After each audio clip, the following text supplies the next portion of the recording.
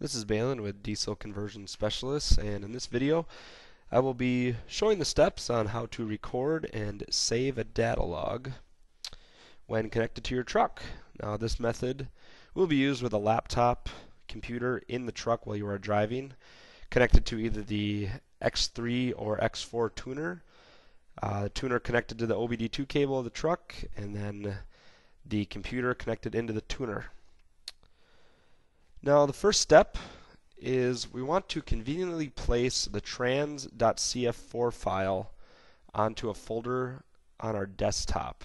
This process is the same as how we saved our custom tune file to our SCT tunes folder in the previous step. As you can see I saved my trans.cf4 file into a folder titled trans right here. And once you have your transcf4 file saved into a convenient spot, we can go ahead and open up the LiveLink Gen 2 program.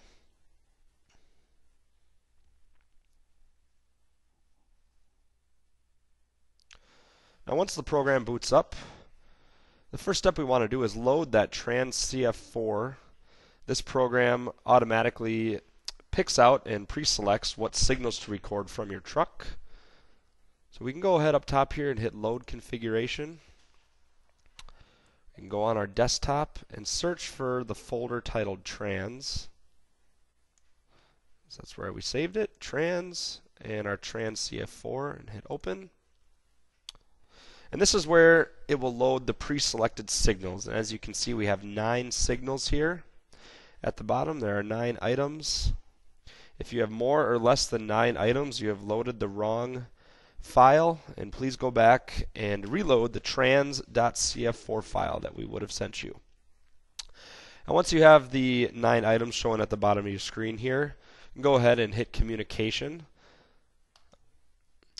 and then we can hit check communication. The program will now check for communication between the SCT tuner and the truck. And if communication is successful, you will see your tuner information here in the status box. And if the communication is good to go, we can go ahead and click View.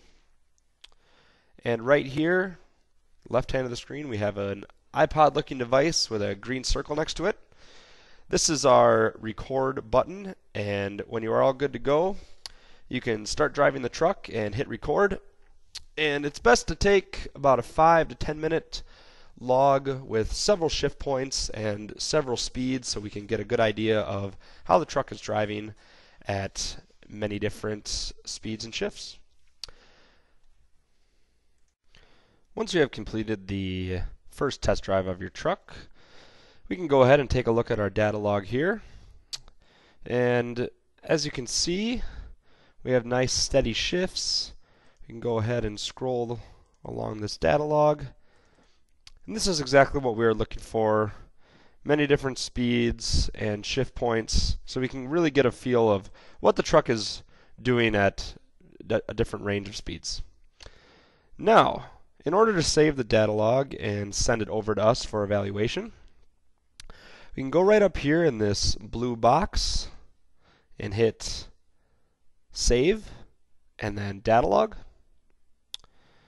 And I'm just going to conveniently place this back into the trans folder where I saved my trans CF4 file so I can find it when I want to send it in an email attachment.